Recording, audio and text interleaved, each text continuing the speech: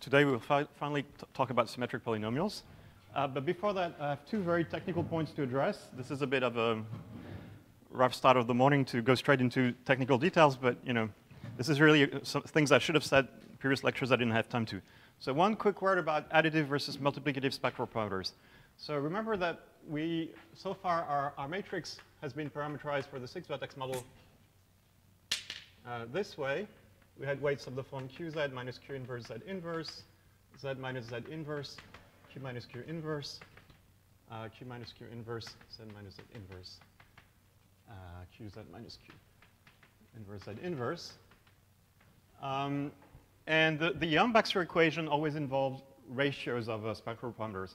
But sometimes another parameterization is more convenient. For example, if you have, if you're in the regime where Q is of modulus one, which I remind you is related to delta uh, less or equal to one, um, then it's actually much more convenient to rewrite it as Q equals exponential I gamma, where gamma is now a real parameter. And also in the same way, for the weights to be real up to overall normalization, you need as well Z to be uh, of modulus one. And you may as well write it, conventionally we write it usually this way, where x again is some real parameter. And if you allow me to, by a bit of abuse of notation, rewrite this as r of x, of, um, then the Yang-Baxter equation now takes the additive form, which is r, uh, okay, which, which are my conventions. Let me check really quickly uh, that the x is actually the, what I just wrote. Um, Okay, where are my notes? Sorry, I need to open my notes. Here we go. Um, it's there. Right. Uh, so x1 minus x2, yeah, that's correct. All right. Uh, x1 minus x2, r1 3 of x1 minus x3, r2 3 of x2 minus x3, and, and the obvious thing on the other side. So, um,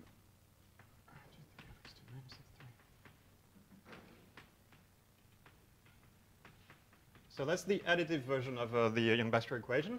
Now, one reason this is actually convenient is if you now consider the, the special case we have ignored so far, which is delta equals plus or minus 1, the limiting values, you see that corresponds in this, in, in this language to taking gamma to 0, or let, us say delta equals plus 1. Just, it doesn't matter. The same could be said for delta equals minus 1. That corresponds to taking gamma goes to 0.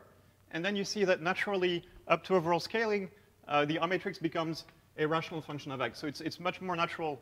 Uh, you know, the, these x variables um, are the only ones you can really use at that point. And you get a parameterization of the form, something like um, you know, x plus 1, maybe, up to, up to overall normalization. Um, x 1, 1, x, x plus 1, which is the classical you know, Yang solution of the Yang-Baxter equation.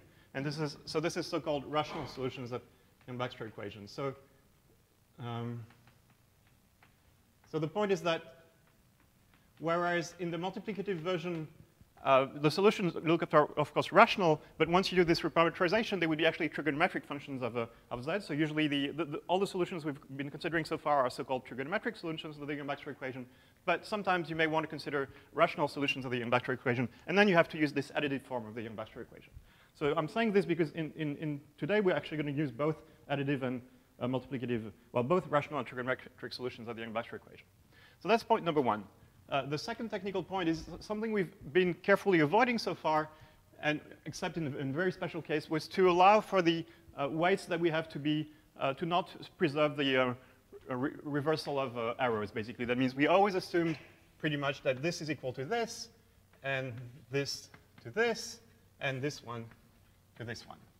Um, we cheated a little bit. At some point, we changed the, the C weights, but the C weights we, we discovered were actually completely harmless. But we definitely always want to have A1 equals A2 and B1 equals B2 so far.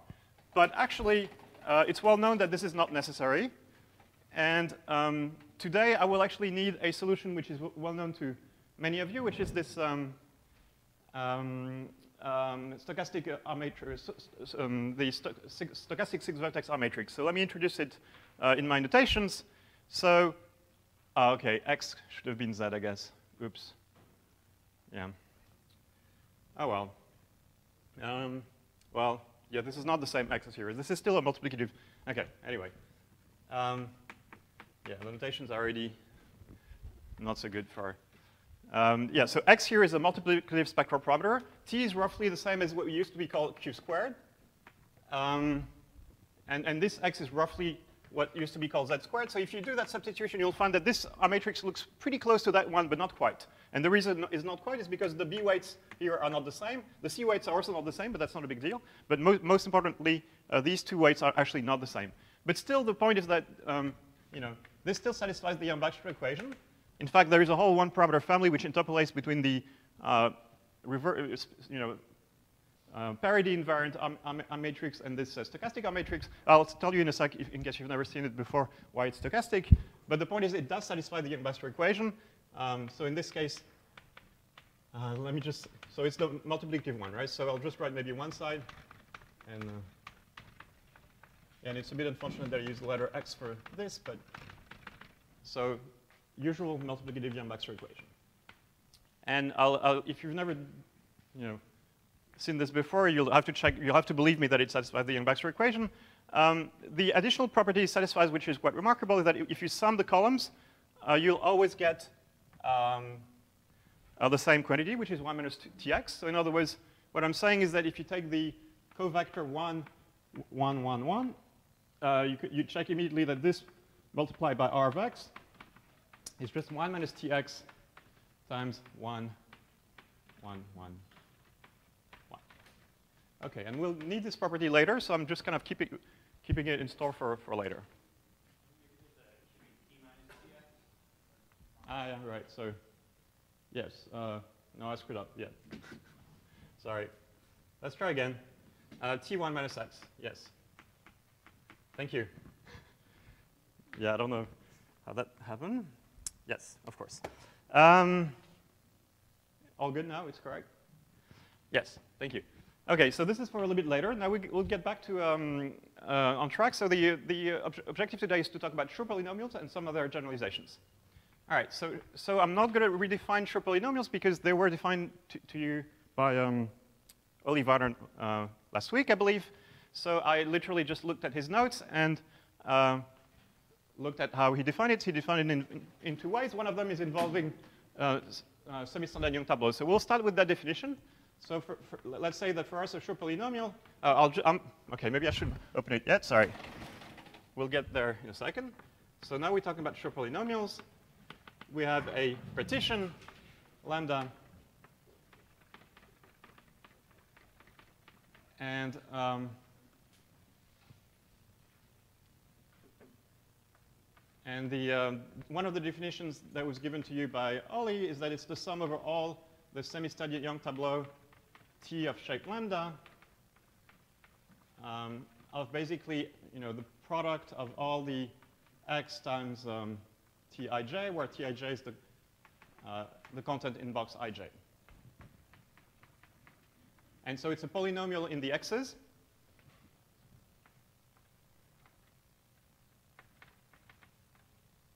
Um, and so I'm not going to go back to that because uh, you, you, so how about we just work on an example, um, which is the same, I, I literally just um, took that example from uh, Oli uh, lectures. He um, considered the, the shape as lambda, uh, sorry, lambda equals 1 to 4, and then he considered the various uh, semi-standard Young tableaus associated to it, and this is one of them, right? And so in this case, that means the corresponding uh, monomial would be x1 squared, uh, x2 squared, uh, x3 squared, x4. And of course, there are many other terms in this, uh, in this expansion, but let's, let's say we focus on just on this term. Uh, so what you've been told is that there's another way of describing the exact same thing, which is in terms of uh, path. And of course, today I, I want to use this description in terms of path because um, this is very close to what we've been discussing so far. And um, the picture, again, in, in, in, his lectures that I found is that the you can draw the corresponding path as follows. They're, the path starts at the bottom. They neatly stack together, so they're one unit, lattice unit next to each other on a horizontal line. And then they move up and to the right. And the rule is that the tableau tells you when the path goes to the right. So that means uh, you divide the, um, uh, the uh, vertical direction into successive steps, which are actually, in my notation, half, half a step shifted compared to OLE, uh, which is fine. This is just a matter of taste. You'll see why this is the right way to do it for us. And, and the, the point is that if, for example, uh, the, the bottom row of the tableau is the leftmost path, and, and the three here is telling you that the path goes up all the time, except it does one step to the right at location three. And similarly, the second row tells you that the, well, the, the one before the last tells you that you have a path. The next path goes up and then goes right at, at steps two and three. And finally, the final, um, the final, um, the final path, which is the first row, um, makes right steps at one, one, two, four. And from the point of view of the path, that means the way you should think about the, the, the, the weight you associate to each tableau is simply uh, the, the, the right steps. That means here we have a step x1 squared associated to that row, x2 squared to that row, x3 squared to that row, and x4 to that row. And that's looking also pretty good, because remember in all our pictures, um, we always had those kind of Boltzmann weights that depended on row and column. So here you see we don't have columns, but we suddenly have rows, which is exactly um, of the right shape. So this is kind of looking good to connect to what we've been discussing in the previous lectures. And so in other words, um, what I wanted to do next is to uh, literally say that this is some partition function of some uh, lattice model. And you could do it directly at this stage, but it would not be satisfactory. Um, this is a little game one can play. One can try to directly consider this as a, vertex model as written here. And yeah, sure enough, you, it would work. It'd be integrable, but it's not exactly the right form for me. So I'm going to do something funny first before uh, you know, applying the whole strategy that we've been doing so far, expressing everything as partition functions. I'm going to do the following.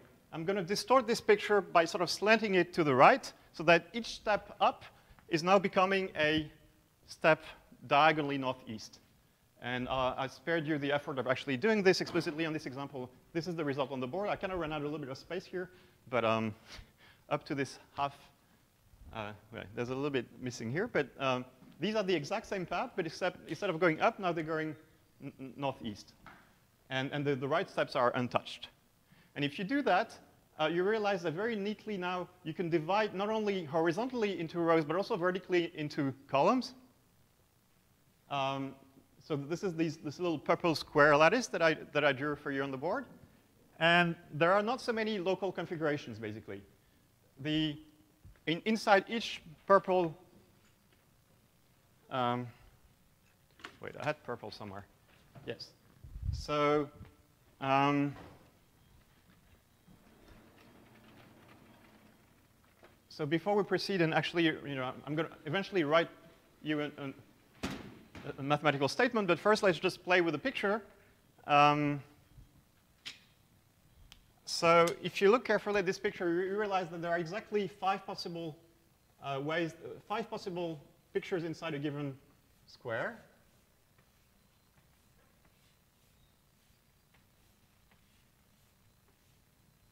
All right. Um, it can be empty.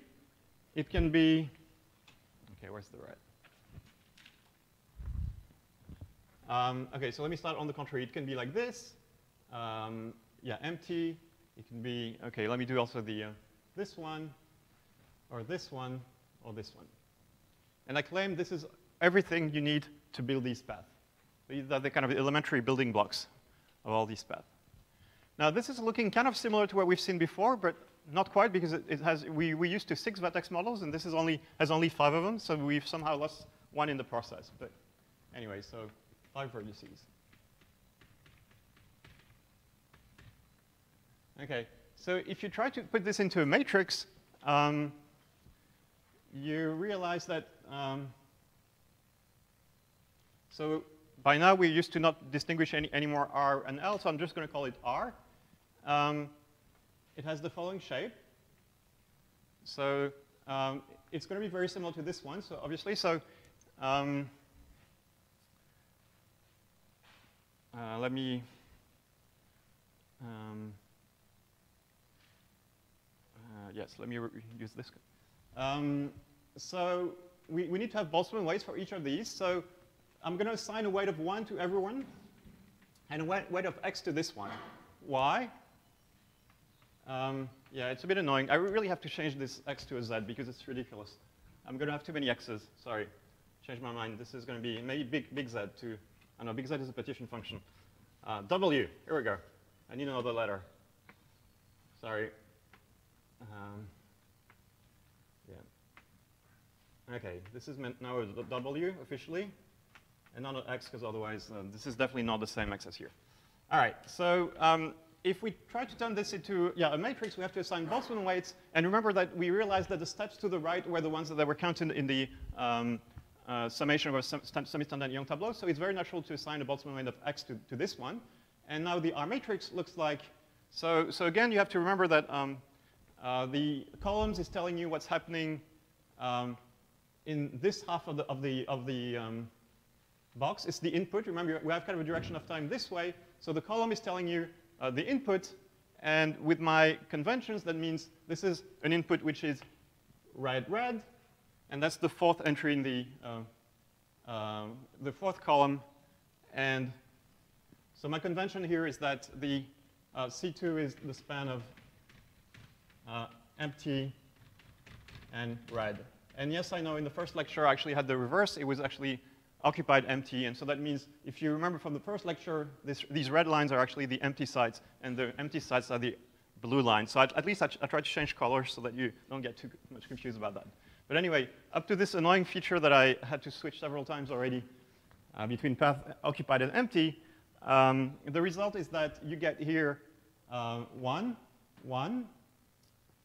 Um, you're going to get x here, and then 0 here, and then 1 here, and 1 here. So let's check that we agree. Uh, the only interesting one is this one, which corresponds to um, uh, the, so is this correct or the, the x below? Yeah, this is the only question. So let me check quickly in my notes that I agree with myself at least. Um,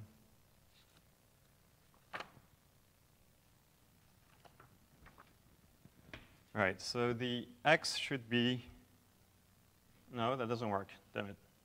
Uh, that's terrible. Yeah, these conventions can be really annoying, and uh, I think the X may be on the contrary. Jules, help. uh, okay, I have to check my notes, sorry. Um,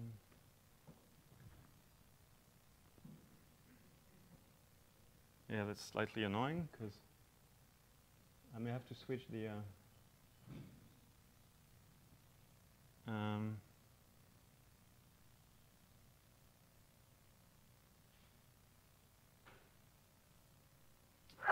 okay, let's check. Um, okay, so there's a small possibility that because I switched so many times between occupied and empty, it might be that the rows and columns have switched. So I have to check that. Uh, maybe um, okay. Well, that kind of sucks, because I wanted to say that it, it's the t goes to 0 of this one, but uh, yeah. All right, all right. So I have to go back to really quickly to proper, proper reference for this. Um, so the factor of t is on the, yeah, I guess, I guess I, I screwed up when I wrote it here then. All right, well, change of plan. Um, sorry about that. We need to switch once more. So this was 1 minus x, 1 minus w, um, t1 minus w, um, and therefore here, um, 1 minus t here, I guess, and then w1 minus t here. Uh, hopefully, this is enough to fix everything. Um,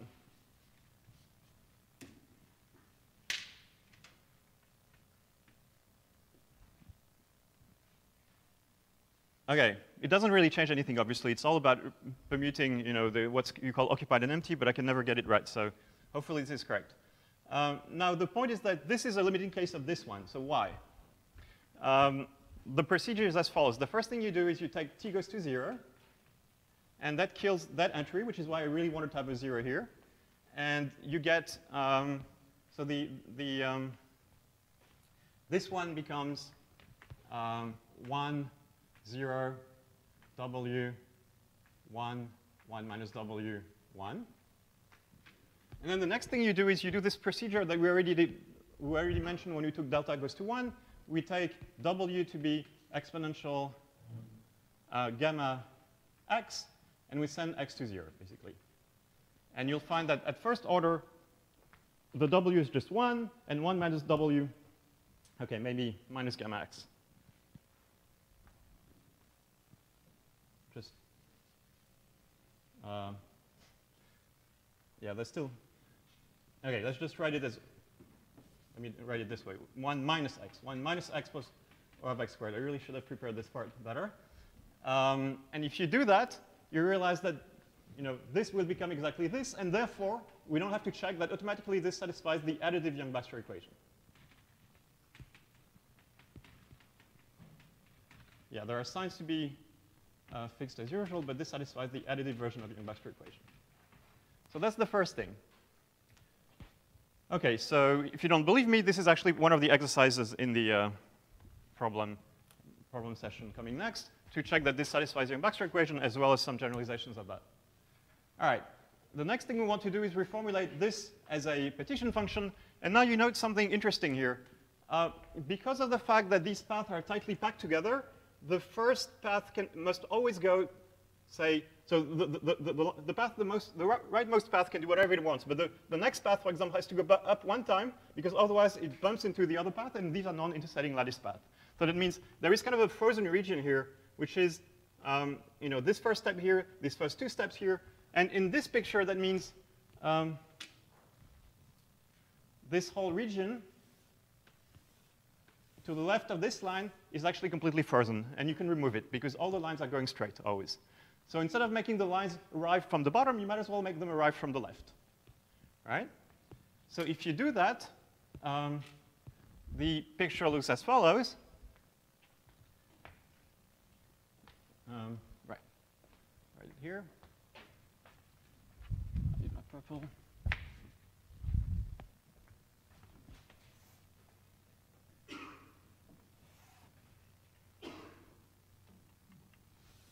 At the bottom is completely empty now. Not too many colors.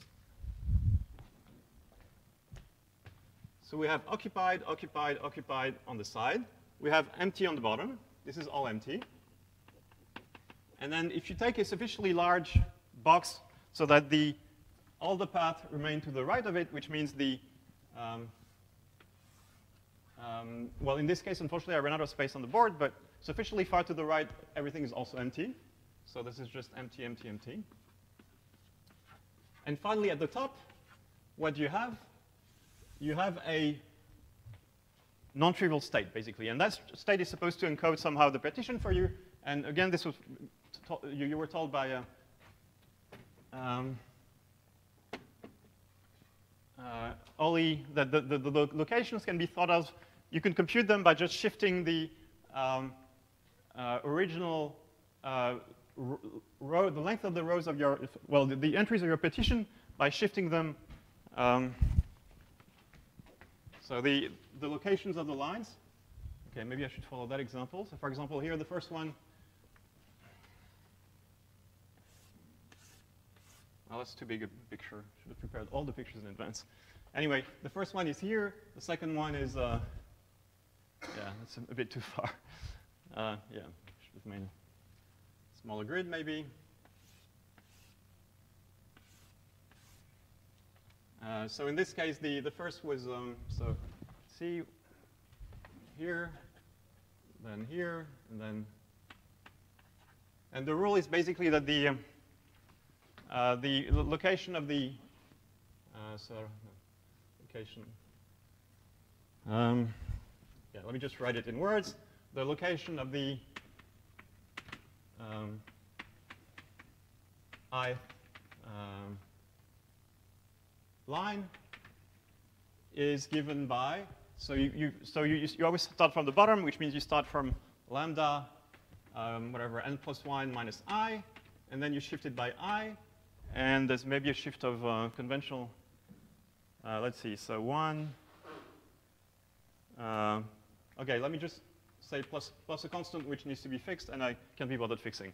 But the point is, at the end of the day, um, let me, by definition, denote lambda uh, the corresponding state, which is the um, corresponding state, which means in, in C, 2 tensor, uh, whatever the size here is, which we always denote by L, um,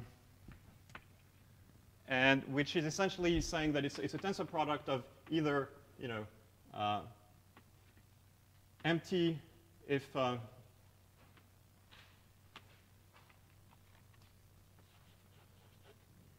are occupied depending on whether there is a path arriving here. So either, so j equals uh, 1 to L, j is not equal to any of these uh, lambda n plus 1 minus i plus uh, i plus some constant, and j equals one of these, basically. And if you, if you write it this way, then you see that what we're really computing here is the following. So that's the first non-trivial statement that I'm trying to make, somewhat uh, is that with these um, conventions, the S uh, lambda is equal to, so what is it? So for me, the time always flows this way. So you start from the empty. So empty, empty, empty, which is uh, um, which is just the tensor product of all these. Um, um, uh, so in other words, this is just the product, the tensor product of all these empty, empty states i equals 1 to L. You act with a certain transfer matrix, which I'm going to call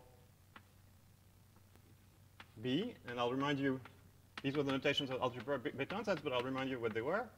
And, oh, okay, so is it actually B here? Uh, uh, the path entered to the right, but I, I mean, yes, at least this, this part is correct. And then finally, I compute the entry of, um, of the corresponding um, uh, basis vector in the standard uh, basis. Um, let me remind you how this uh, was defined. The where where the transfer matrix was defined as um, the so T of x was defined as R L zero of x dot dot dot R one of x, and here the, this is the R matrix um, that we have right here. And, and graphically, remember that this was nothing but this thing. And, and here, all the other spectral parameters are zero. Ah, sorry, yes. Sorry, that's the monodromy, sorry, yeah. The, yes, curly T, the monodromy matrix, sorry, yeah. Yes. Um, and then we expanded this as a two by two matrix as being A of x, B of x, C of x, D of x, and that corresponded precisely to those uh, boundary conditions um, at the left and the right. And if I'm not mistaken, B is exactly the one that makes a red path appear here and nothing on the right, because my, I switched, my, my path used to be empty and vice versa. So at, at least that part is correct. Oh, there's something missing here? RL1. No, uh, on zero limit. Yes, thank you. Ah, yeah, nothing is working today. It's just, uh, uh, it's a good, good thing it's the last day, because, uh, all right, so zero, well, the numbering of the, of the lines is indeed, uh, yeah,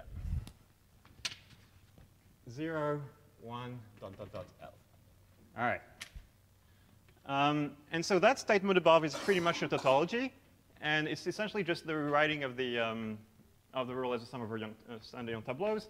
So the only subtlety is the fact that you have to choose L large enough so that, so L has to be larger than something like uh, the, um, you know, lambda 1 plus n, where n is the number of parts of my partition.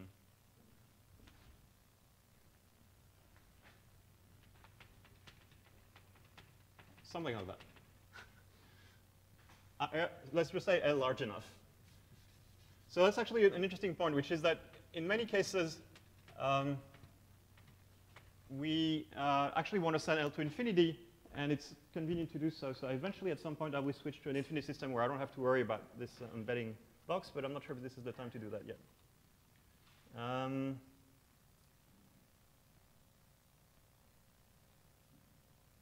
right, great.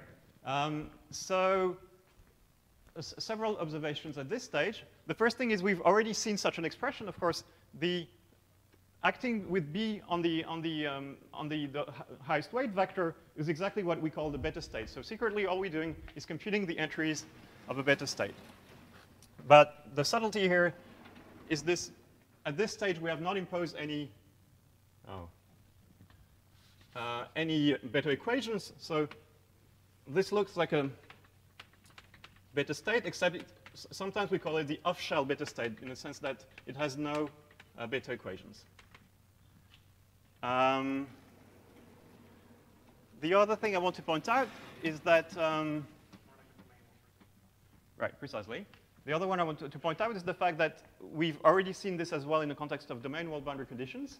Um, except for, again, for some weird reason, I was using C instead of B because I keep getting mixed up between occupied and empty, but it's the same story. So here on three sides, this looks like domain walls, but you see on the top, it's non-trivial. So it's really more like a Bethe state than domain walls, which was the kind of trivial case where uh, the, the top had all particles somewhere. So you can think of it also as sort of partial domain wall type of partition function.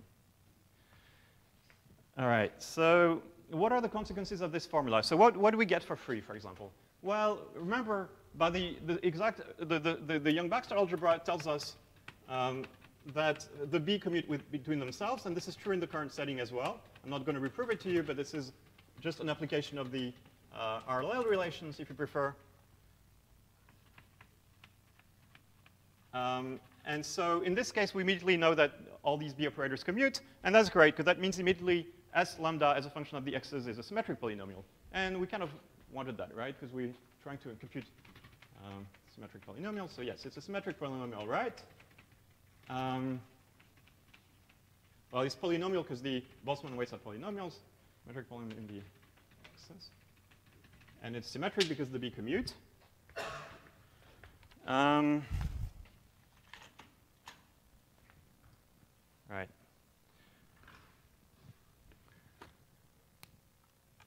Um, and I think this was actually already mentioned to you by Olli. I, am looking at his notes. He actually already mentioned the fact that the commutation of these objects was some sign of integrability. So here we have it in, uh, in its full glory. Um, maybe at this stage it's, it's, the right time to do exactly what I said, which is to say the following. Um, it's, we, it's kind of natural in this setting to uh, extend the, um, uh, the, um, the um, vertical spaces to have an infinite number of them, both left and right. And, and this leads to this notion of fermionic Fock space, which we may or may not have seen last week. Not really. Okay, but I still want to say a few things about that. So in principle, obviously, to, to actually compute the, the Schur polynomial, you only need to compute the uh, partition function in a finite region. But um, it costs nothing to um, extend it.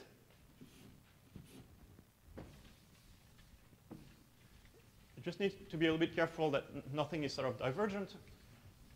And the natural way you could do it here would be um, to say the following. Suppose I extend my state uh, lambda as follows. So we have a kind of a more natural definition of the state lambda associated to a partition, uh, to any partition without any sort of bounding box, which is to say uh, we're going to have a, a inf an infinite line. You have to have a zero somewhere. And then the uh, particle, there's an infinite number of particles to the right, to the left, sorry. Uh, so that goes on forever. You have an infinite number of holes to the right. And uh, so you have a zero somewhere. And, um, and the rule is as follows. Um, the, uh, well, the, the, the, best way to think about it is you start from sort of the vacuum, which is the state where everything is occupied to the left of zero and everything is empty to the right. And, and then what you do is the, uh, you displace uh, the dots according to the partition. That means, so let's take our favorite examples, example of 421. What you're saying is the rightmost particle gets moved four steps to the right. So um, let's try to do this. One, two, three, four. Uh, the second particle gets moved two steps to the right, so that was an empty here, so it moves here. And, the, um, and so on. So the, in this case, there's only the third one, which moves here. And that's about it, right? So the rule is I, I particle, whatever you call it, occupied site maybe, um, occupied site, uh, counting from the, the right, of course, because, well, because there's an infinite number on the left, so we can't count from the left, uh, is displaced by lambda i, where lambda was just lambda 1 greater or equal to the dot greater lambda. All right. Now, if you do that, uh, you see that naturally now you have a, a, partition function living in a sort of infinite strip, but it's still true. Uh, so let, let, me denote, so in particular that means the, um, the empty, for the empty partition you have um, um, um this uh, vacuum. And it's still true that S lambda is equal to uh, an expression of the same form, which is essentially uh, lambda uh, b of x1, b of xn. So the, only question is how to define properly these transfer matrices, and it's not too bad. Um, you, what you do is you um, declare that um, b of x is an infinite strip, indeed, uh, but such that sufficiently far to the left or to the right, uh, you can only have um, a, so at some point far enough, uh, you can only have occup uh, occupied side on the uh, horizontal line, and at some point sufficiently far to the right, it's only empty. And you, of course, this kind of mimics, obviously, what we had in the finite case. It does seem a little bit weird because it's not completely clear what these dots have to do with these ones, but secretly what you have to imagine is you have a bunch of lines kind of going through here. And, um, and, and these are, oh, sorry, the red lines, sorry. Yeah, my color code is also completely messed up already. These dots were supposed to be red, not purple. Um, anyway, we'll get there.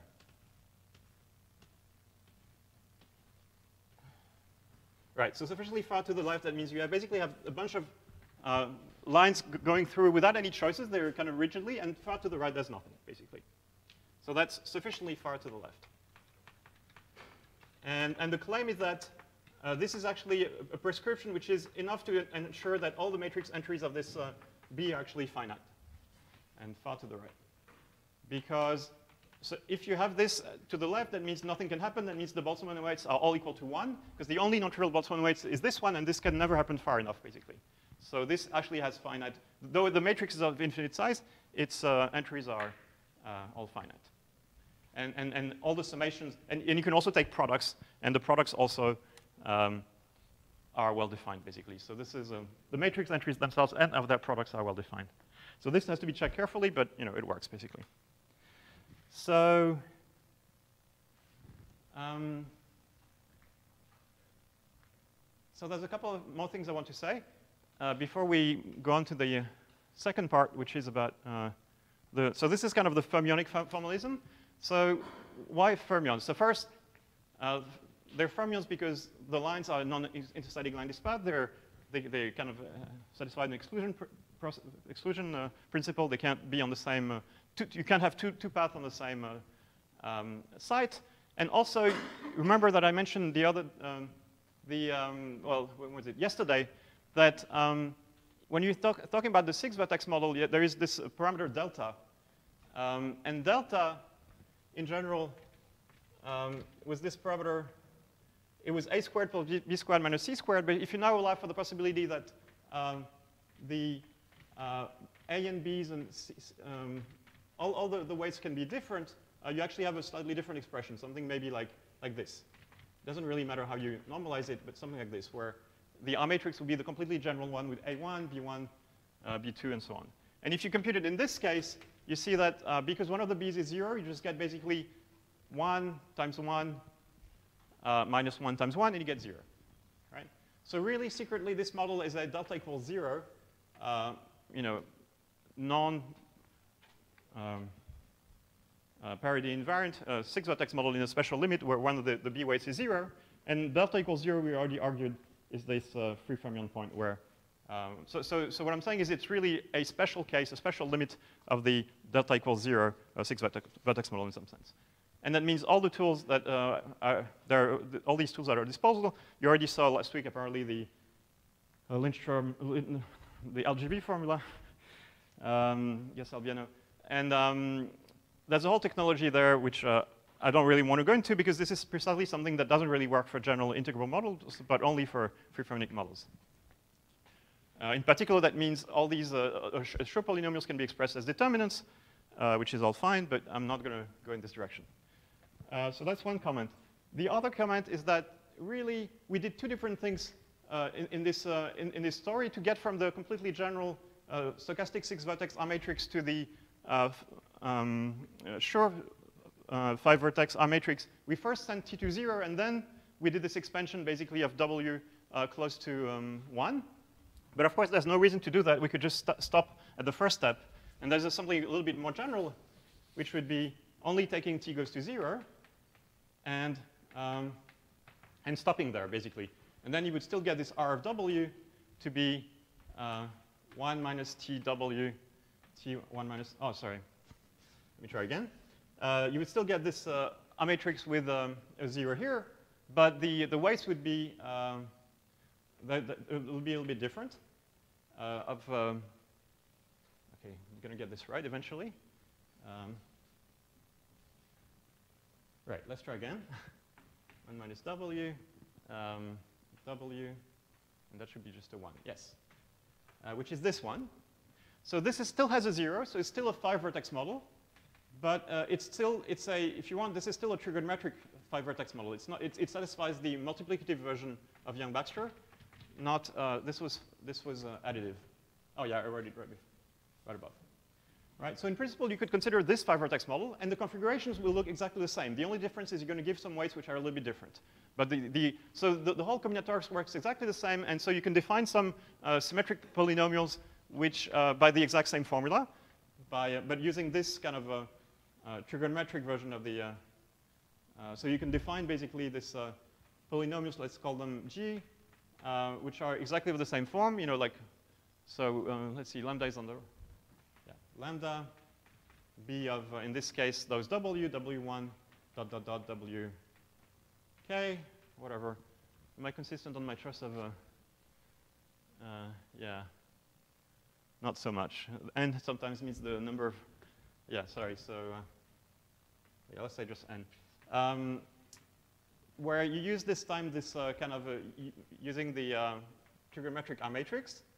And these polynomials are interesting in their own right. They're called, um, well, if you want to pedantic, Grassmannian Grothendieck polynomials. Um, so I guess maybe I should call it GG rather than G. Um, and they're maybe not as popular as Schur polynomials, but they're still uh, interesting uh, to study. They have some interesting connections to uh, um, algebraic topology. And they were introduced by Lascaux and Schützenberger uh, in that setting. So that's something you can do, and you can play pretty much the same game, but um, we're not going to do that today, because today I want to actually talk about something different, which is another way you can think about Schur polynomials as occurring in the, um, in the, in the integrable setting, so in the, in the, world of exactly solvable statistical mechanics models. And so that will actually use uh, more like, uh, again, the same uh, stochastic six-vertex R matrix. That's why I needed it for um, both for you know, the story I just told you and, and the, the se second story. So the idea is to, um, well, it's this kind of like fermion-boson correspondence. Like in, in two dimensions, we know that fermions and bosons are kind of the same, so that means there should be another bosonic description uh,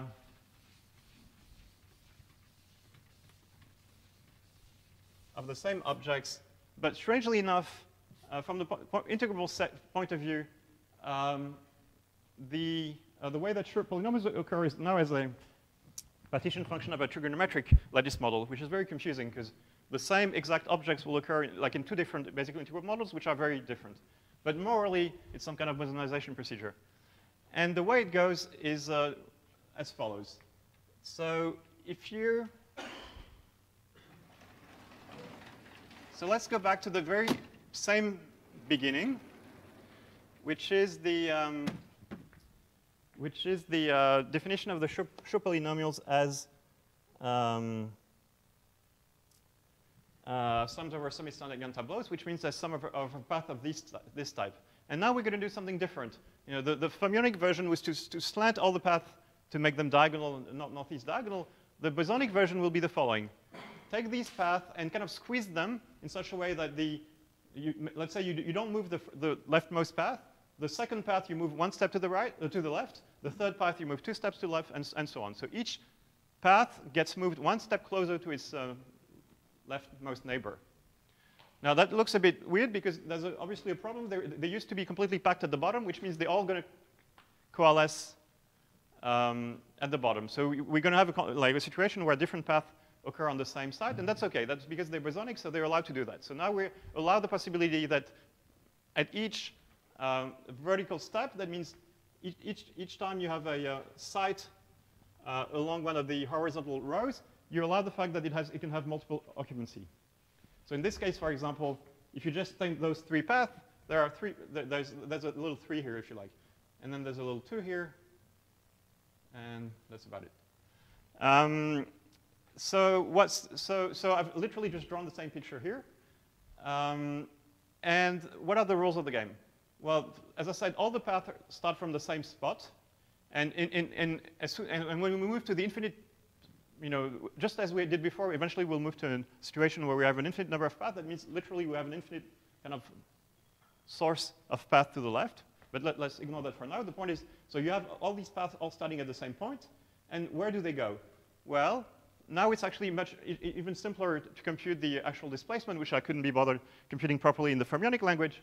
Um, the, uh, you literally just read off the uh, the length of the rows of it, so the entries are repetition. So that means the first path from the left just moves, has to move, at the end of the day, has to be one step to the um, right. And the, the second one, so, so maybe that's not a great example because all the uh, parts are distinct, but in principle, nothing forbids a path from arriving at the same spot if it just so happens that your repetition had repeated uh, entries. But um, in general, yeah, the, the, rule is quite simple. The, um, the, um, if, you, if you count path from the right, then the um, ith path gets moved to, has to move lambda i steps to the right. So, and, and once again, we can play the, the little game, which is what are the local uh, configurations? And there are even fewer than before in some sense, except now we have to allow for this uh, multiple occupancy.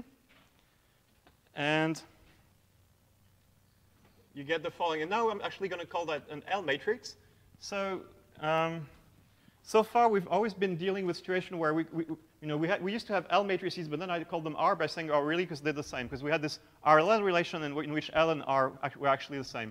Here, I really want to distinguish them, and I'll come back to that point in a second, but first, let's actually, uh, so yeah, let, us draw all the configurations. Uh, there are only four of them now. Um, and so that will be this L matrix, but yeah. So um, either uh, there's a bunch of lines that go through. And now, of course, we have to allow for the fact that can be, that can be n, m of them. So I'm going to write a little number to indicate the number of paths that go through. Or um, there is a path. Oh, oh, oh, right. And so the other thing I'm going to do is, if you allow me to, I'm going to, this is just a vertical flip. To uh, conform to, with the convention of a paper I wrote with Michael Wheeler on the subject, uh, I have to flip the, the pictures. It's annoying, but Otherwise, everything is, uh, yeah. So we're actually going to do it the other way around. The, uh, um, let's look at the bottom one rather the, uh, the bottom picture rather than the top picture. So the path are actually going down instead of up, but everything else, of course, is exactly the same. Um, so if we do it this way, then path can go, so you can have this kind of situation. And now again, you have to allow the possibility that um, there are many lines. So let, yeah, let me just draw all the configurations and then I'll explain. Cause, um, there are only four of them, so it's not too hard. Um, the one where, on the contrary, a path dies, so uh, this one. Uh, m to m minus 1. And then, so this is kind of multiple lines. And finally, um,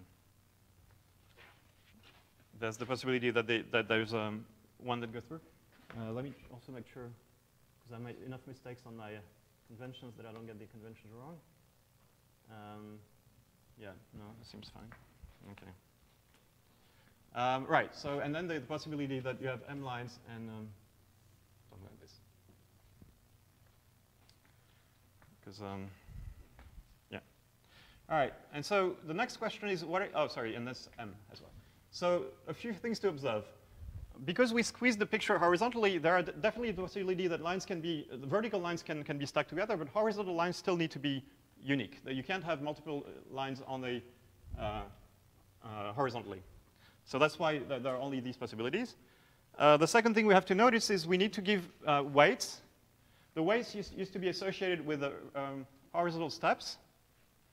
And um, in this language, that means you can associate the weight to this configuration, x. And everybody else has uh, weight 1. All right. Um, uh, I think I explained everything correctly. Um, now, yeah, so let's, let's, we turn this into a matrix. So what is this matrix? It's going to be interesting because for a change, it's not going to be a matrix which acts on a, a, a, a tensor product of two factors which look the same, because one of them is now going to have an infinite number of possibilities, right? So uh, we have basically a um, so L is basically a axon um, C2 tensor, something which is bigger, uh, Cn if you like, or z greater equal to zero, where a bit loosely, because uh, th that, that means the, you know, the, the, the, two spaces are associated respectively to this line and, and this line, basically, roughly speaking. And um, with, with, the standard basis being just the, the, you know, m particles being at a given um, um, location along one of those vertical lines. So um, you see that there's no chance, you know, the R matrix is always a matrix which acts on, like, say, C2 tensor C2.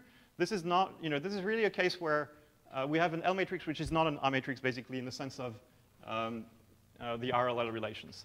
So this is a bit of a digression, but you see, when you write the RLL relations, which we are going to do very soon, um, the, the, the, way we introduced them in the, in the first lecture was to say, well, the, the Boltzmann weights were given to us, that this was L, and we were trying to find an R such that this identity holds, and then, uh, well, we, and this is just a linear equation in R, so we solved it and found some solutions. But now we can play the reverse game. We're saying, we already have our R matrix. This R matrix is going to be this one, or maybe, you know, in, as t goes to zero, this one.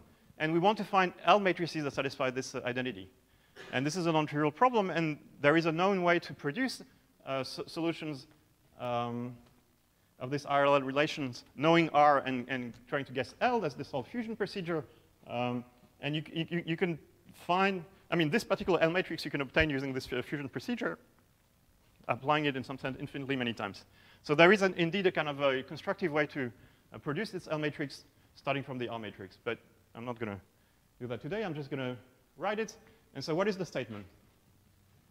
So rather so in this case, I actually want to do the, uh, the, the, general case immediately because I think there's no point in repeating, repeating it for Schur polynomials and then doing it again for Hall-Littlewood. So immediately what I'm going to do is I'm going to generalize these weights.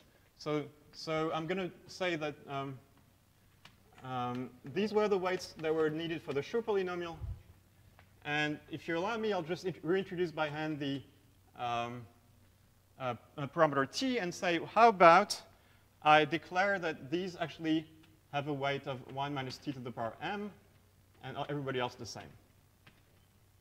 And these will be so-called so Hall-Littlewood weights. And so I, I encode these in, into a big matrix, uh, which is this L matrix. And um, the following statement then is true, uh, which is the uh, thing that you expected. So the RLL relation is true, which means, so maybe I'll use, uh, to distinguish the, the, lines which carry many particles, maybe I'll do, do them as maybe little um, zigzag lines. And then the RLL relation says that, you know, um, so, well, as usual, you can either write it as an equation or as a as um, pictures. And so the the picture is the this picture, which is pretty much the same one we've been doing all along. Uh, and so with my notation, so this is x, this is y. Uh, th this is, um, um, right. And so, uh, okay, x and y. And so the R matrix is exactly the one here, right? So it's R of W equals uh, x over y, so it's multiplicative, and it's given, so I'll rewrite it once more, trying to not screw up one more time, but you know, it's this one. Um, T minus W minus TW. All right.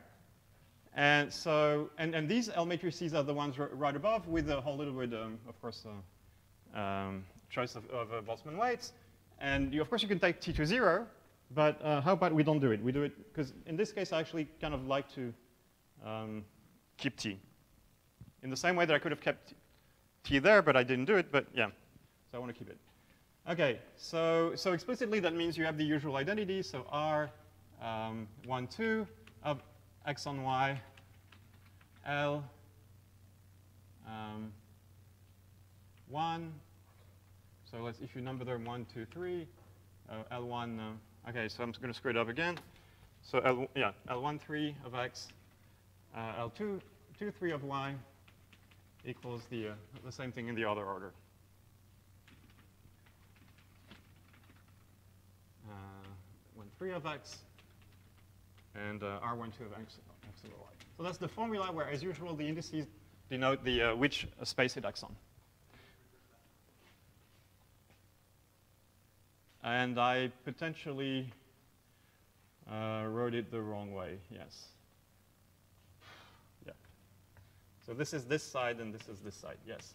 Because you read expressions right to left, not left to right. Incidentally, this is one big difference with the paper with Michael, where we sadly write expressions left to right, which is very wrong, but anyway. Um, yeah, so most of what I'm going to say now is based on a, a joint paper with uh, Michael Wheeler. Um, so yeah, so you can see how this is kind of interesting because one of the lines now play a plays a different role, which is why the L matrix is not the same as the R matrix. So it's kind of a, a little bit beyond what we've been doing so far. Uh, but of course, the, the morale is strictly the same. Um, and, uh, and the next step is to formulate uh, a, so what, what, are, what are Schur polynomials and more generally those Hall-Littlewood polynomials in this context? So this is going to be the same story all over again. And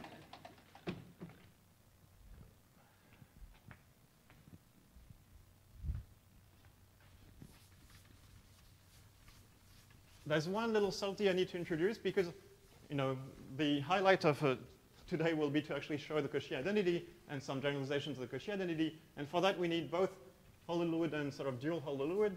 And so we need a little bit of a, a, dual object. So let me do something very stupid, but a, a priori, but which is convenient. Uh, let me redefine the exact same way, but in which, so let me write L of a star of x to be x L of 1 over x. That means it's the exact same um, weight, but so in other words, if you look at the pictures, that means And um, so it's the exact same for pictures, except the weights now have been changed a little bit. Um, this one now has weight x. Um, so everybody that used to be 1, OK, I'll just write them all at once, uh, is now x, and potentially with a 1 minus t to the power m. And the one that used to be x is now 1, where yeah, so the same story here. M.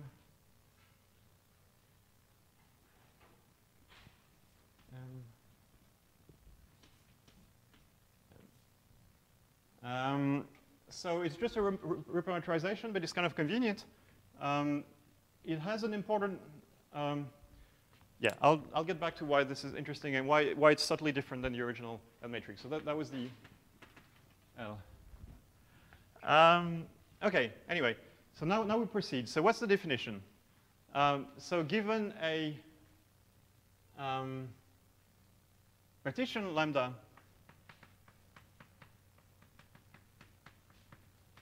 uh, we uh, first associate to it a state.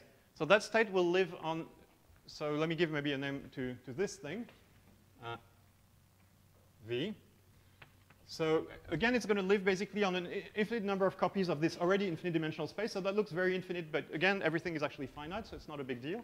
So you associate something uh, lambda, which lives in um, uh, V in some sense, tensor again, actually strictly positive numbers. And the way you do it is you just take the tensor product over i goes to infinity, uh, 1 to infinity, of the basic, basis states m, let me denote it mi of lambda, where this is the occupancy number at site i.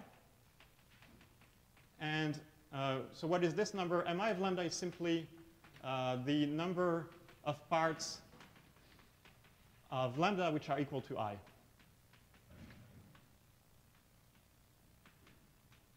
So that's pretty much the procedure I had above when I, when I said that the path had to end at 1, 2, 4. That means that was the corresponding state, uh, 1, 2, 4, basically. Uh, so that's convenient because, and, and if you do the vertical flip, that means uh, with my conventions now, that means we're supposed to do the following. We're supposed to start with lambda. Let me make sure I get this right. Um, yeah, that's correct. No. No, on the contrary. Uh, we read from bottom to, no, the other one. Right, sorry. All right. Um, so what are we supposed to do? So we're supposed to look at this picture. And so we start at the bottom, which means on the contrary, we start with the state lambda. And then we're supposed to apply a certain number of uh, operations which correspond to each of these rows. And then at the top, we have this basically um, kind of trivial configuration at the top, which corresponds to the uh, um, empty partition. So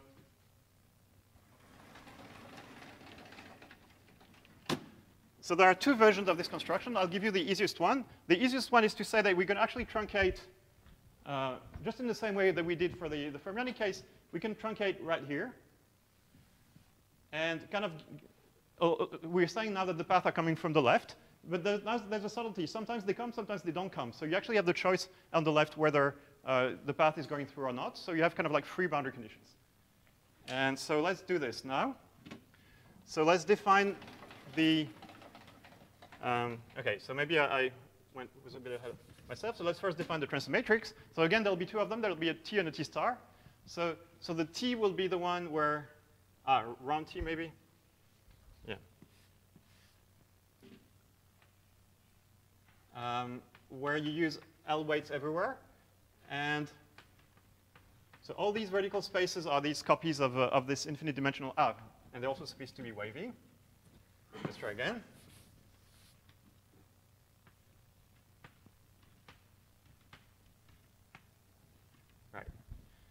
And, uh, and x is here. And as usual, it, it, has four components, A, B, C, D. Um, but the, there is already a first subtlety com coming here. Let's always assume for sort of uh, analytic re reasons that x is actually a number of modulus less than 1. Um, the result is that if you use uh, x too many times, you, you know, you, you, you, can only use this vertex a finite number of times because although because x is a modulus less than 1, that means if you have x to the power infinity, you get 0. So really, uh, nothing interesting can happen in infinity. That's just a way of ensuring that in infinity everything is empty. Because if you have a path going to infinity, uh, it will, uh, it, the, the, the, um, the, you know, you, are always going to get one of these weights, and, uh, and you're going to get an infinite number of them. That means there, there is always, among the four entries, actually, two of them are zero, basically. And which ones? So let's, th let's think. It's the output that has to be zero. So that means, uh, I think these are these two entries here. And then you have two non-trivial entries at the top, T1 uh, of x and T2 of x.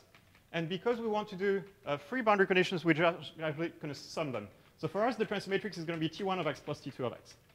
And that corresponds to the boundary where it's, uh, so once again, it's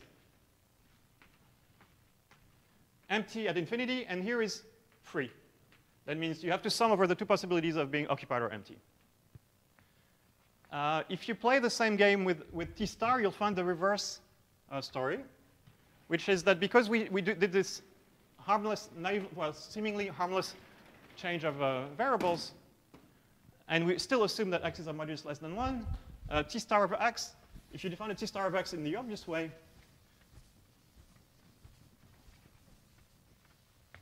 um, T star of x to be uh, And now um, I'll put a little star to mean that each time I have a vertex here, I use L star rather than L. So L star always denoted by a star, basically. Whereas L was just uh, without a star. All right, so if you do this, uh, then you realize that the opposite problem occurs. You have to have a, a, particle at infinity, otherwise you'll incur a weight of x to the power infinity, which is zero. So that means, on the contrary, the uh, uh, the first row is zero, and the second one uh, has two entries. And again, I take the sum of these two.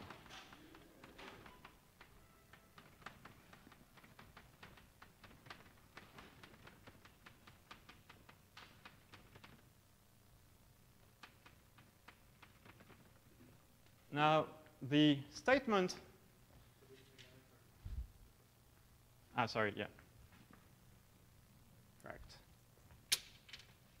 Um, and now the proposition is that, oh, okay, by definition, sorry, um, let me de declare that p lambda of x1 dot dot dot xn is, uh, so the empty, empty partition times t of x1 dot dot dot t of xn uh, times lambda.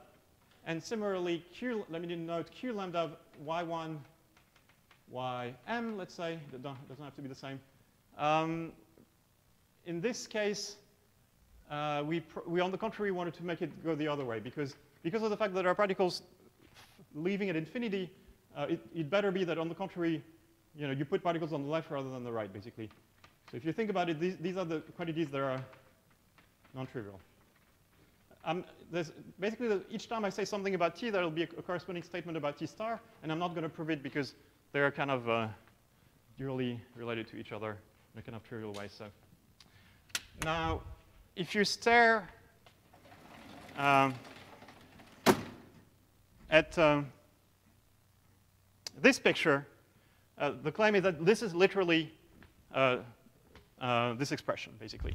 So you start with lambda, you evolve it using the uh, transfer matrices, there is emptiness at infinity, and you get empty at the end. So this is literally uh, the right thing, which means in particular, at t equals 0, this has to be the Schur polynomial.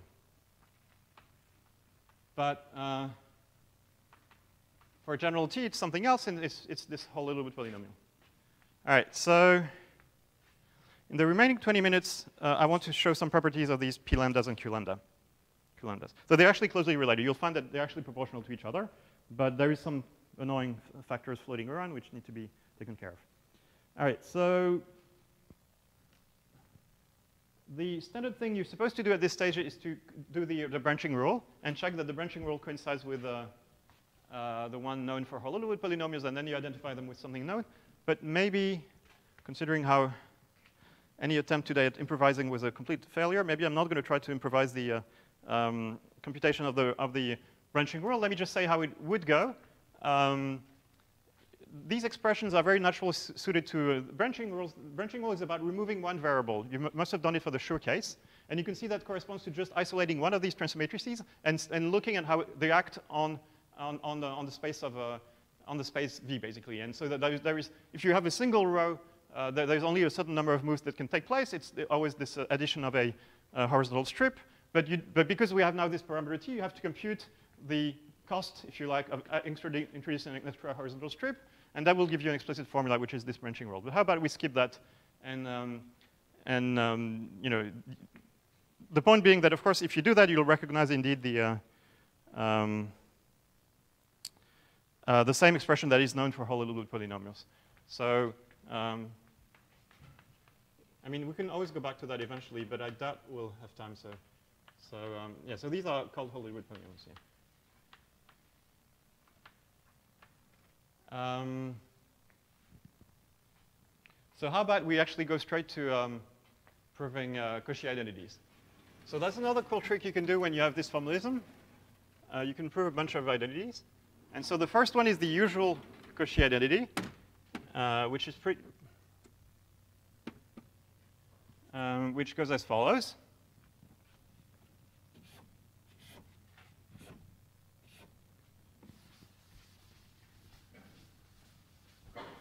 It's going to be more of the same tricks. We're going to apply, we're going to turn the RLL relations into RTT relations, and then we're going to see the consequences for these T of x, T of y, and T star of y. And that'll be the end of the story. That'll be it, pretty much. So let's uh, do that. So, um, oh, right. So I still have the RLL relation here. So because of the fact that L, L uh, all right, let, us just do the, the obvious one. So um, if you apply the RLL repeatedly, you get uh, this kind of identity, which is this RTT relation, uh, where now you have a sort of potentially infinite number of lines. And so a little bit of care has to be taken into what we mean by that, because there's an infinite number of lines, and somehow this thing has to be sent to infinity in some sense. And um, no, actually, yeah, I'm trying to decide whether I want to do the, uh, uh, the interesting case or the boring case. Well, let's do the boring case, I guess, for starters. Um, so if you do this, so now these are all, uh, you know, all these weights are supposed to be the weights of L. So we're literally applying this identity is written here. And now what I'm going to do is here I'm going to impose free boundary conditions. Uh, and at infinity, as usual, uh, it has to be empty, because otherwise, anyway, it's zero. So this identity is, is just the RTT relations. And now comes the, the, I told you at the very beginning we were supposed to use, but of course that got erased a long time ago. Uh, the fact that the, um, uh, this R matrix has a left eigenvector. So in this language, that means when you have this, um, this is literally nothing but 1, 1, 1, 1 times R of, um, so uh, I should put the parameters, x and y. Um, of x over y. And we know that this is nothing but uh, uh, 1 minus t x on y uh, divide, times the same thing. So in other words, it's exactly just this factor, whatever that is, times essentially free free. So that's kind of nice. Um, so that means here we can rewrite it immediately as just being this thing, and that's already what we want, basically. That's already uh, uh, the product in the appropriate order of, um, so let's see if I get it right. We read from, so t of x, t of y. This is my definition of t of x, t of y somewhere. Yes, here.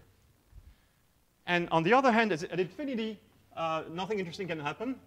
So this is 0, 0. Uh, this, is a um, this is just the uh, a vertex. So that's literally just, uh, uh, no, no, I mean the reverse. Obviously, at some point, the x's and the y's have to be switched, and I guess I got it wrong. Um, y and x. Um, and so on the, on other side, you have literally just, uh, and this time x is on top, y at the bottom is, is free here, uh, free here. So everywhere is, is uh, the correct boundary conditions, empty. And then you have this factor at infinity, which is a of uh, x on y, which is again 1 minus tx over y. So if you simplify, you find that um, uh, you just have the obvious uh, commutation relation. Um, that uh, t, and, uh, t of x and t of y commute, as, as suspected, this, this is a, a, a commuting family, which implies that these polynomials are symmetric.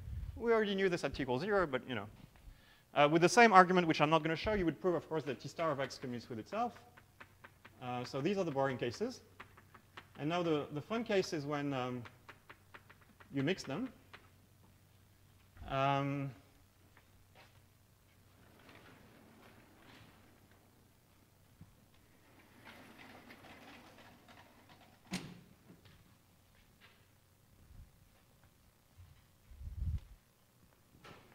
oh, actually, yeah, let me precisely keep this. So to get the mixed case, we're going to rewrite the RLL relations by you know, using the fact that really L star is the same as L. So it's not a big difference. Um, uh, so in fact, we have the definition of L star right here. So that means we should have an identity of the form roughly R of x times y, um, L1 of x, L2 star of y equals, uh, well, I guess the opposite, L2 star of y, L1 of x, R, 1, 2 of xy.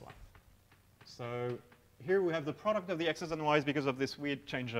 So um, in other words, the parameters, um, okay, so I have to put a star on one of them. Oh, and as usual, I'm drawing it in reverse. Let me try to actually draw it in the correct way. Uh, no, actually, this is correct.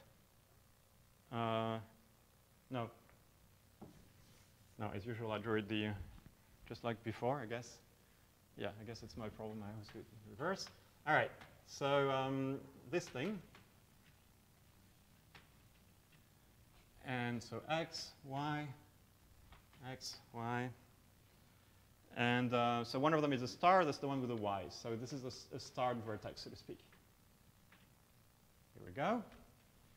And, um, and this is y inverse. That's the point because here we have a, an inverse. So I'll, I'll, mark it with y inverse to remember that here we really get x over y inverse, which is indeed x times y. All right. Um, so this is the same identity which I rewrote in terms of L star rather than L. And now we can play the same game. We're going to iterate it. We get these kind of RTT relations, which are, well, the same. Um, ooh, that is not very pretty.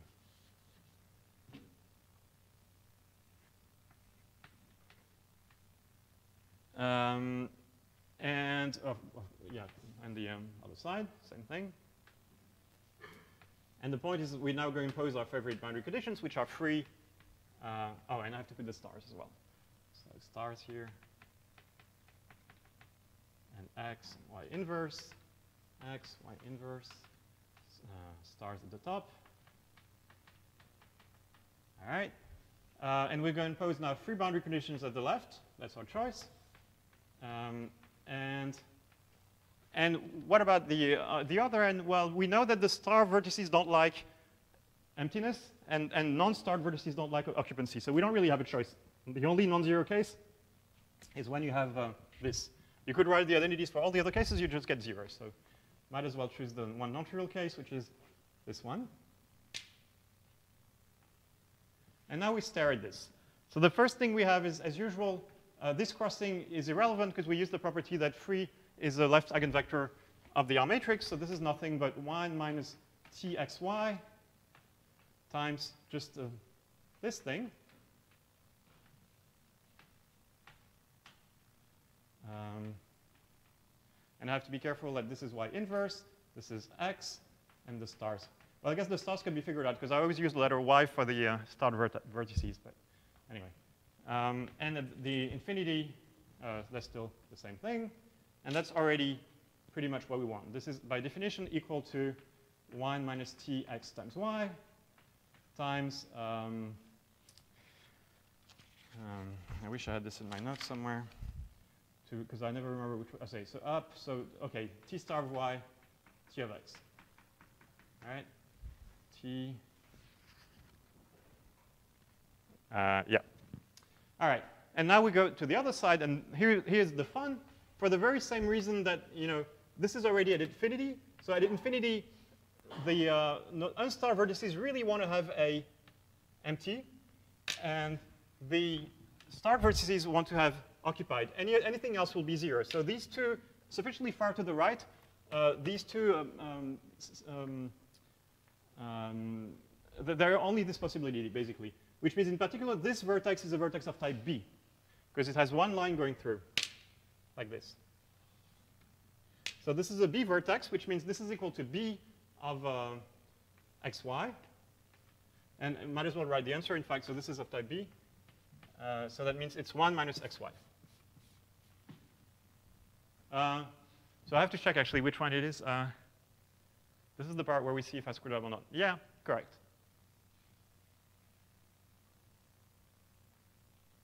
Well, with probability one half, depending, depending if I got my convention right or wrong about occupancy or emptiness, this, this should be 1 minus xy.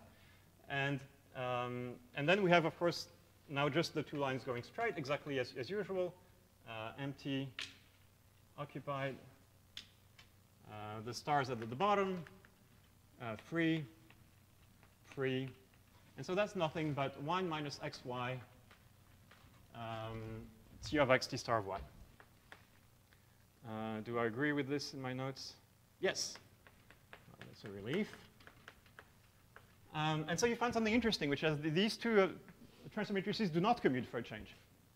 Uh, they satisfy the following commutation relation.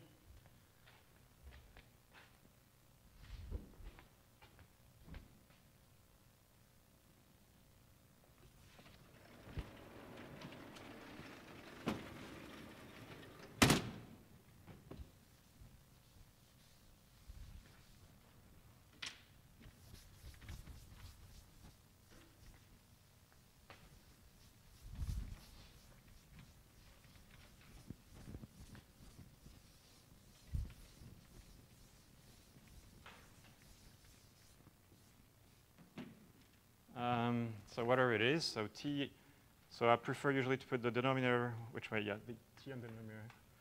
So I guess um, um, t of x t star of y equals 1 minus txy over 1 minus xy times t star of y t of x.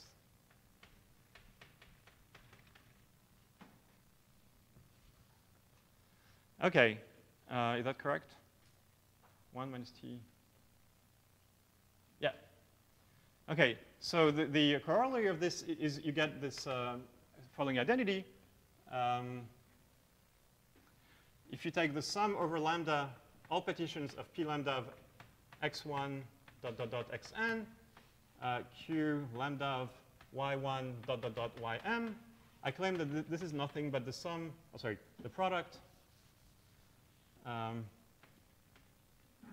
over, so i from 1 to n, j from 1 to m, of pretty much that expression, right? So 1 minus t xi yj over uh, 1 minus x i yj. And the proof is kind of uh, trivial. You just express this explicitly as being the sum of lambda, so this is the proof, um, of um, wrote above, so mt uh, t of x1 dot dot dot t of xn, uh, lambda, lambda, um, t star of y1, t star of yn, uh, mt.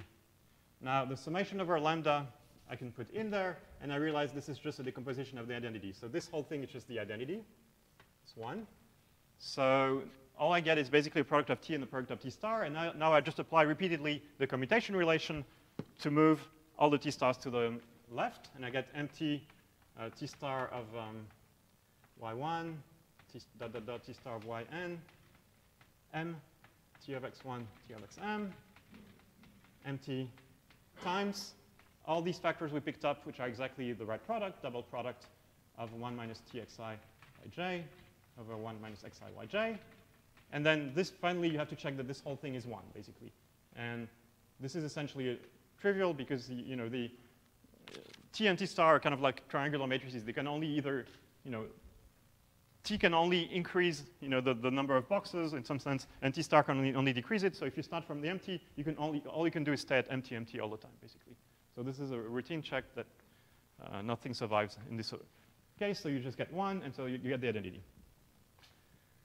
Okay, in the remaining four minutes, let me just mention that there is a nice generalization of, of this result, uh, which is the formula due to Ole Warnaar, who sadly is not today uh, here, so it's not better anyway. I just wanted to point out the fact that uh, you can actually generalize this in the following way.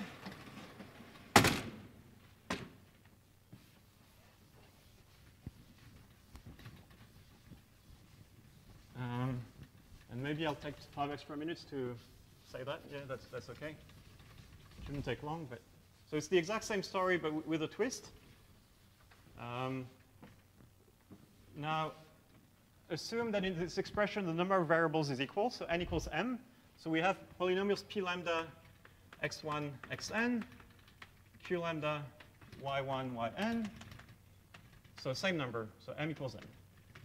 Um, it's not very hard to see that um, for, for this expression to be non-zero, lambda can have at most n parts. So lambda is always uh, lambda 1 dot dot dot lambda n. So I can always assume, by, if necessary, by padding to zeros, that it has exactly um, padding with zeros. That n has exactly, sorry, lambda has exactly n parts. It doesn't cost me anything. So, so how about, um, so I have this uh, now lambda, which is always exactly n parts, and that means in particular I can define a new concept, which is m0 of lambda. It's the number of zero parts. Just like I had before, the number of parts which is non-zero. It's a bit weird to define it this way, but because we padded it, that means this has a well-defined meaning. I'm not allowing arbitrary number of zeros. That means if it so happens that your partition, you know, I'm always going to assume that it has size n, and that potentially there's going to be a bunch of uh, zero parts. And I'm calling them consistently with what before was called mi of lambda, uh, m0 of lambda, the number of zero parts. Now, as a consequence of uh, the exact same formalism, uh, you get this nice identity. Um, there we go.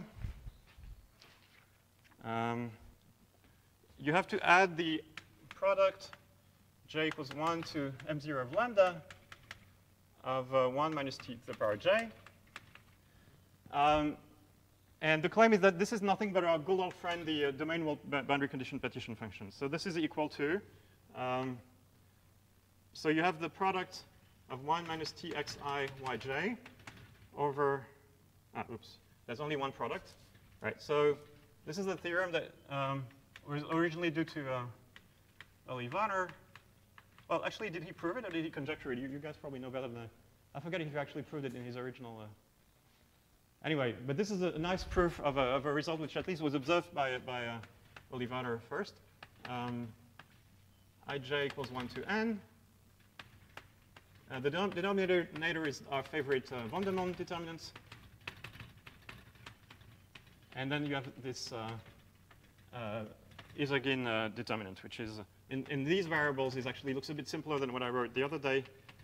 Uh, it's actually like this. And this is as usual uh, n by n determinant. And the proof is very simple, but uh, yeah, unfortunately I ran out of time. So the proof is very similar, but it involves now looking at, um, so adding one extra row to the, um, um, yeah, maybe I won't have time to say this in detail. But the, the basic idea is the, uh, we're going to play the exact same game, but because we have those R matrices, so yeah, let me show you the, at least the, the, the picture of the proof, is to consider configurations of this kind. Um, so we have, because you at least you can see where the domain wall will naturally occur. So it's to consider configurations now where the, the left boundary is fixed, um, as well as the right boundary, so no more free boundaries. And, um, and then have the usual story, so lines here, and some of these are. And then uh, have these lines cross. And, and have empty here. And there's, there's some stars to be put somewhere, so all these are stars.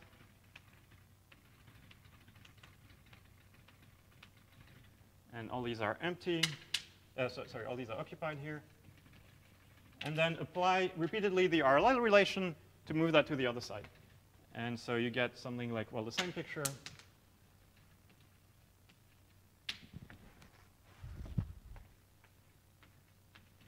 And now these go straight down, straight up, and then you still have, of course, the same thing.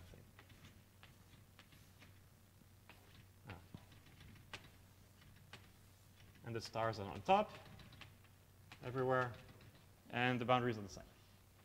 And if you stare at this picture for a sufficiently long time, um, So I haven't said too much about what exactly happens at the left boundary. So that's a funny business, which, which is like the, the fact that even though we have fixed boundaries here, you can retranslate this back into the language of free boundaries at the cost of this extra factor, basically. So the extra factor comes from the fact that we change a little bit the left boundary, and they're no more free. But there's some trick to reduce this to free boundaries, which is done in the paper. Reduce to free.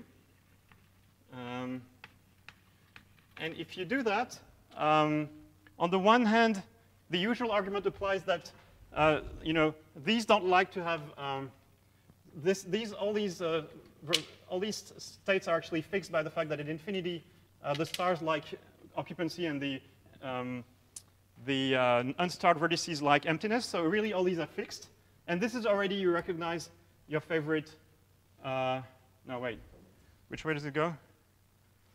Um, no, it's the other way around. This one should be trivial. Um, no, I screwed up some. Yeah, I screwed up the. Uh, sorry, yeah, at infinity I screwed up. This is supposed to be the other around, right? Because I definitely want the, the, these ones to be trivial. Sorry. Does that make more sense? Yes. Yeah. So if you did it the way I did it, you would find nothing interesting, and so you have to play a bit with it. This is a bit of a game to find what produces interesting identities. Okay, so correction. So here, effectively, you get the summation over, uh, you have the left-hand side, because this is actually completely frozen. All of these paths, you know, the, the only thing that can happen here is these paths go through.